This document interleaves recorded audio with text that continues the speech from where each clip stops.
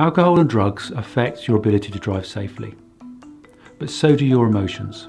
Stress and fatigue are the two major contributors to driver mental well-being.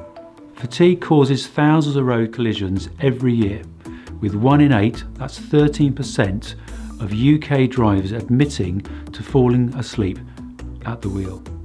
Its effect on our ability to drive safely is similar to that of drink and drug driving.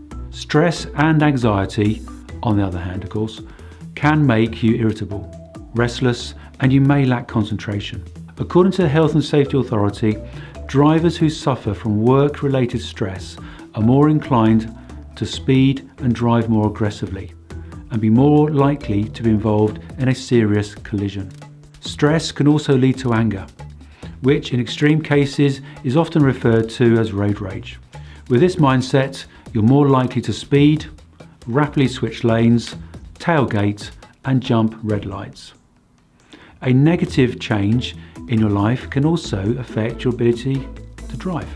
Sadness can induce an autopilot mindset that makes you pay less attention to where you're going and how you're getting there. Driving and reaction times become sluggish. You're more prone to errors such as drifting into another lane or a rear end collision with another vehicle.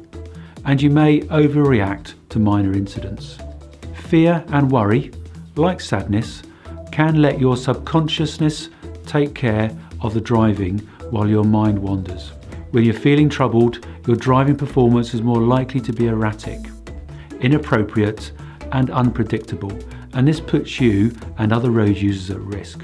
Conversely, good news or happy moods can also prove hazardous. Anticipation and excitement can make your mind wander and distract your attention away from the road. Good judgment and road awareness may suffer as a result, and with reduced focus, you're more likely to drive too fast or take unnecessary risks. Life is full of highs and lows. We all get them.